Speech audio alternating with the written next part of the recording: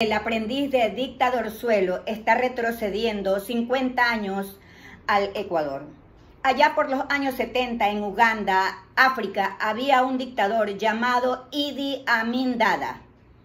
Extorsionaba, mataba, encarcelaba, perseguía, cruel con sus enemigos políticos. Creía que la ley era él y después de él nadie más.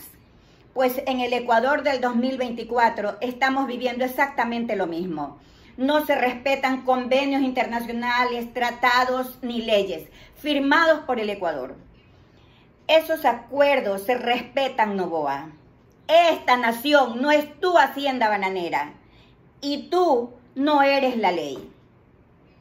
El ex vicepresidente, ingeniero Jorge Glass Espinel, no es delincuente ni mafioso.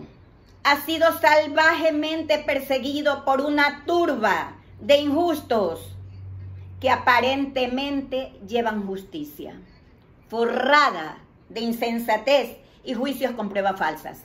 Ecuador está bañado de mafias enquistadas en las altas cúpulas de algunos organismos.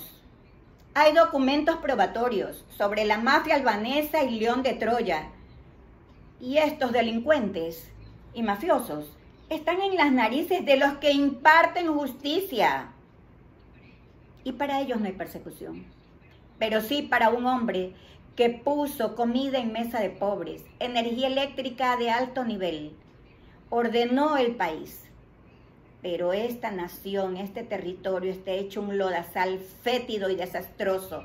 Irrumpir en la embajada de México es irrumpir en un país. No tiene precedentes en el país. A Novoa no le interesa la vida de ningún ecuatoriano. En México hay miles de ecuatorianos, compatriotas represados, queriendo entrar a Estados Unidos, huyendo de la criminalidad, del desempleo, de la pobreza, de Lazo y de Novoa ahora. ¿Qué pasará con ellos? Nada. A Novoa no le importa el ser humano. Jamás ha mirado por el ser humano. Tampoco le importó los miles de ecuatorianos que perdieron todo en este invierno. Nunca fue a visitarles y no les dio un centavo. Tampoco le importan los miles de ecuatorianos que están luchando en la Amazonía, luchando por la riqueza que está abajo del suelo, porque los mineros están extrayendo miles de millones de recursos naturales del país y ese dinero no entra en el erario nacional. ¿Dónde está Contraloría? Entra al bolsillo personal de algunos, incluido atrás el gobierno de Lazo y otros.